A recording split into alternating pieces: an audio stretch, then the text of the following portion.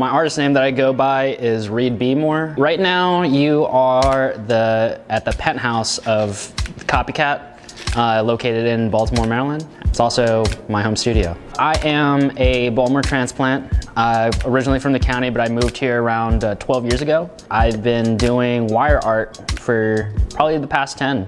The translation with kind of my history in graffiti and street art and the love for just writing on walls transitioned into me taking my sculptural work and putting it on traffic lights.